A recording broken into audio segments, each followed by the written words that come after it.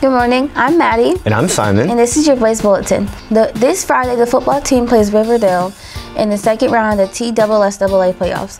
Be there to cheer on the Blaze as they move on in the postseason and take on the Warriors for the Backyard Brawl Part 2. Don't forget that players are trying out for the tennis team will need to get an updated physical and complete all the Final Forms paperwork before they will be able to try out.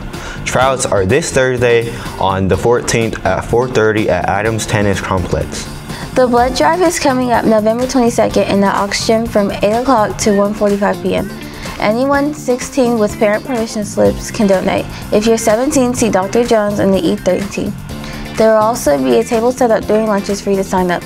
Please eat a big breakfast. You will receive two pairs of Christmas socks for your generous donations. All teachers are welcome to come anytime that day. Thanks in advance. Spanish Club will meet on Wednesday, November 20th in F1 at 340.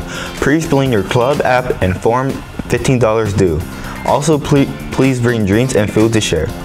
Miss Hustles will host the German club in room E5 from 340 to 420 on Tuesday, November 19th. Bowling plays Siegel this week at Lanes Trains and Automobiles. Next week, they play Nolensville at Smyrna. Wrestling plays at Blackman November 16th at the Blackman preseason. They they also have a home match December 12th as well as December 17th. Boys basketball starts the season over Thanksgiving at the Centennial Cougar Classic. The team's first home game is December 3rd against Beech.